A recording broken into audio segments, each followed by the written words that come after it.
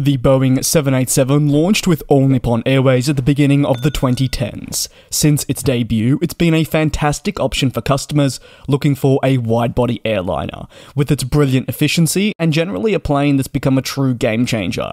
However, as with any aircraft program, studies will always take place on how to bring it to the next level, make it attract more interest, and customers, and further stamp its authority in a segment that, as we know, already faces heightened competition. For the Boeing 787, in recent years, there's been discussions around the birth of a freighter variant. But what does such a freighter entail? How firm are the reports? And would this be a good idea? Let me now explore those very questions, and with over 80% of viewers unsubscribed, it would mean a lot if you hit that button and try and help the channel push for 40,000. Currently, the Boeing 787 series comes in three primary variants the 787-8, acting as the smallest variant in the series in terms of a capacity, followed by the Dash 9, which is like the middle ground and definitely the most popular variant that'll often be selected. Lastly, there's the larger 787-10 with its increased capacity that has proven to be an excellent aircraft for long-haul flying when customers need additional capacity. Adding a 787F into the mix would see the plane have a new priority in terms of freighter movements coming into the scene. But what would a freighter variant actually entail?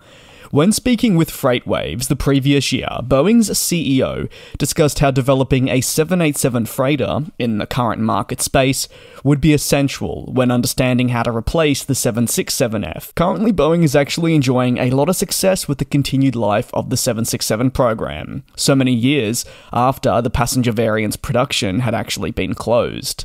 Data analysis through my side gig with Flight Radar 24 showed that the 767 has enjoyed a substantial rebound following the pandemic, and the split between passenger to freighter aircraft has definitely closed, with more and more companies introducing this freighter variant. However, Boeing will eventually need to launch a new alternative for cargo needs, and one not as large as the 777-8F, which was recently announced. In comes the 787 Dreamliner.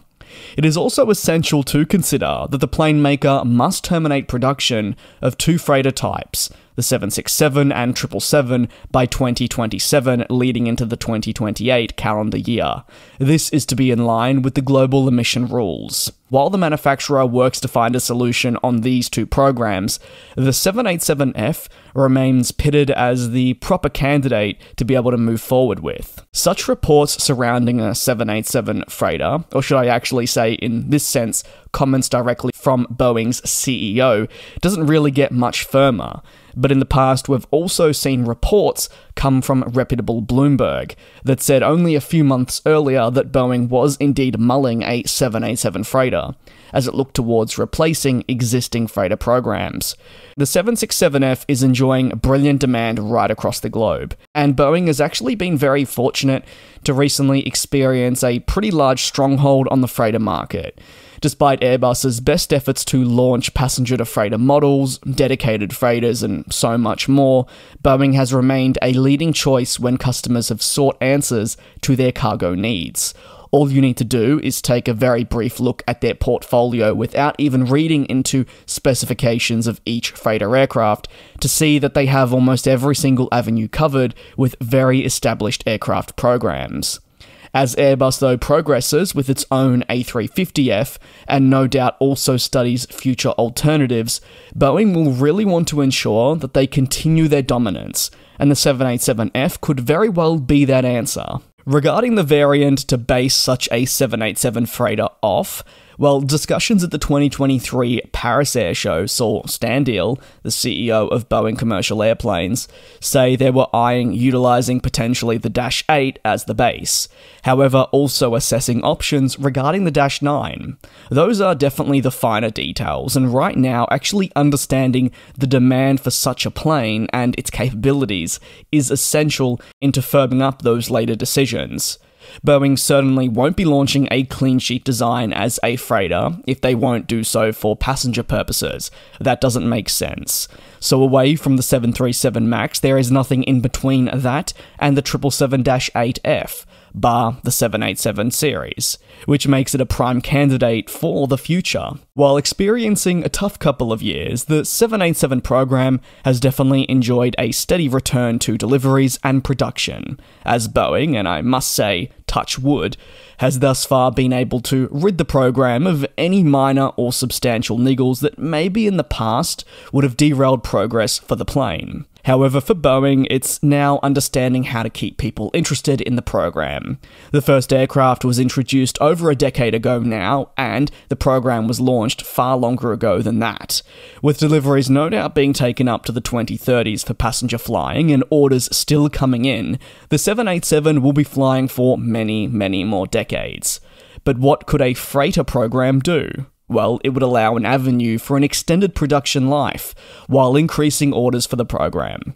Take a look at the Boeing 747 8 series. It definitely lacked in terms of passenger interest, but it was the freighter program that kept it alive for so long. And yes, while the results were still underwhelming, it gave the program an extra boost.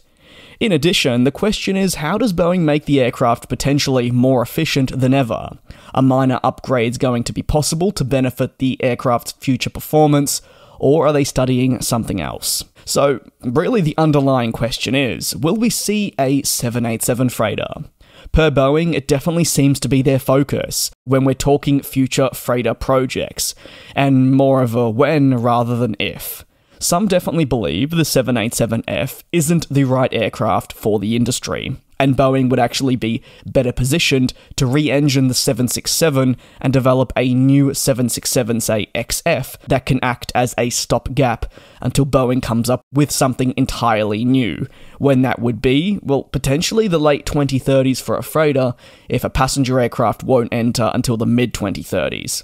Just like every program, though, there are valid concerns around costs, engine manufacturers' support, human resources, and much more.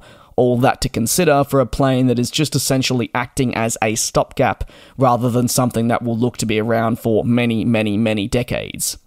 Even though people, yes, do support a re engine, they do believe there would also be support from the likes of General Electric with their GEnx, which is what Boeing was initially studying when they were looking to re engine the 767 program as a way to extend the plane's life.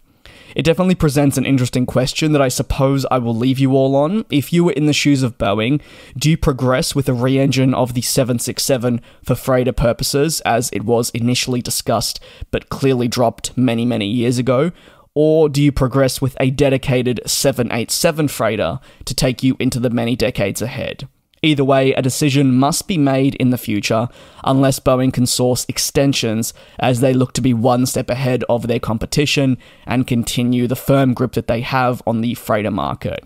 I'll leave you on that question, and as always, you can leave any further thoughts down below in the comments. I very much appreciate your support that you show here on the channel. Take care and be safe, and I'll see you next time.